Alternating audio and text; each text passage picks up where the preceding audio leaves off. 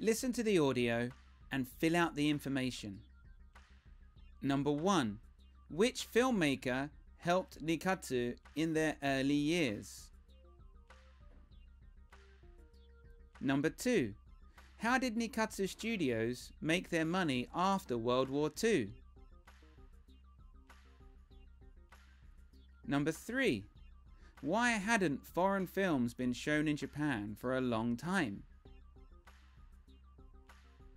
Number 4. Why were these foreign films so popular in Japan?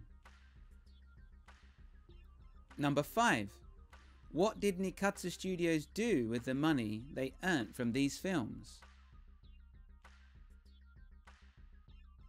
Nikkatsu Studios was Japan's first movie studio, and they started by following Japanese theatre traditions, such as male actors playing both male and female leads, known as oyama in kabuki theatre.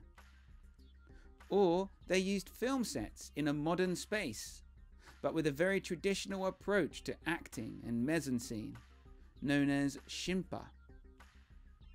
With the assistance of filmmakers such as Kenji Mizoguchi, Nikkatsu soon became one of the most innovative studios of the time and extremely powerful.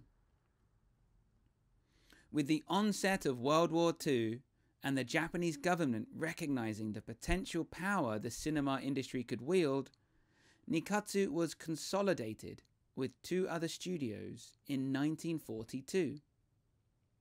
This meant that Nikkatsu, Shinko, and Daito became Daiei and were engaged in making kokusaku, or national policy films, which were propaganda films that celebrated Japan and made fun of the enemy. After World War II ended, the ban on foreign popular culture was lifted, which meant people in Japan could once again watch Hollywood and other foreign films. Nikkatsu made a vast amount of money screening films to a populace hungry for escapism. After close to a decade of this profitable business model, Nikkatsu hoped to re enter the world of film production. But they faced stiff opposition from their competitors. But with the money they had collected, Nikkatsu were able to overcome the hurdles laid before them. And by 1955, they were making one new film every week.